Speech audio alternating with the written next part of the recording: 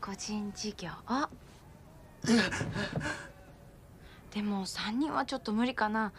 え？悪いけど3人のうち2人ってことでどう？体壊れちゃうから。うーん。昼から私のマンションってことでどうかしら。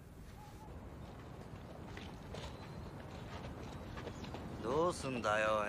三人のうち一人は泣きを見るってわけだ。はあどうやって決めんだよ日本代表。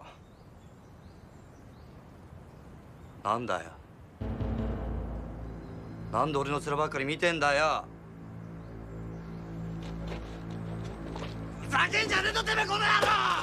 やんのかこら。なめんじゃねえとこら。お前だ。ヨネジ。なめんじゃねえぞこら。逃げる気かこら。てめえら置いてかないでくれ。お願いします。もう一度だけ話し合いましょう。